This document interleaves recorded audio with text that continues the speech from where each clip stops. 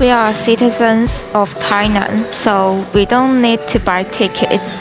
If you are not a citizen of Tainan, you need to buy tickets to visit Anping Old Fort.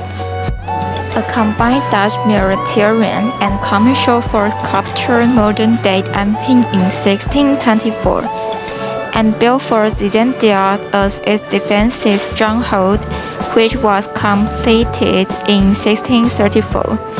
In 1662, Zheng Chenggong took the Dutch fort back and changed the name to Anping.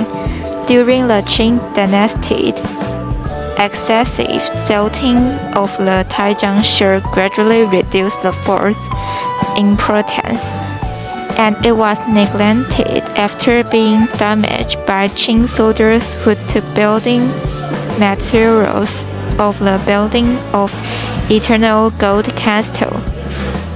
The fort was rebuilt after the Japanese colonial period and renamed Anping Old Fort after World War II.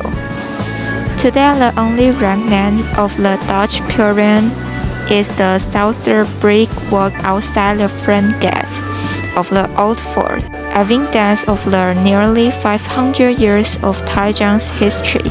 Anping Minor Artillery Fort was built in 1840.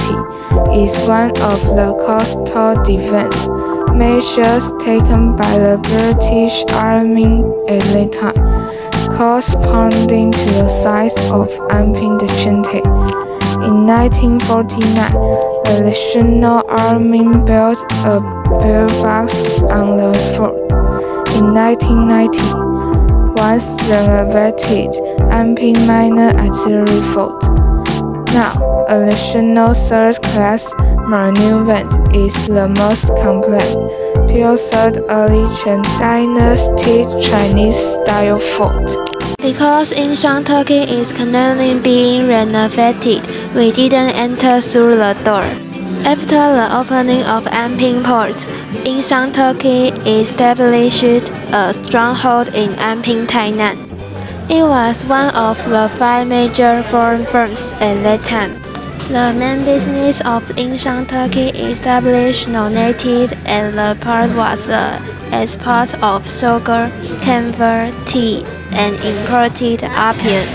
It was an important commercial base that flourished for a while. The Wax Museum has planned a space-time corridor showing the history and growth trajectory of Yingshan Turkey in detail.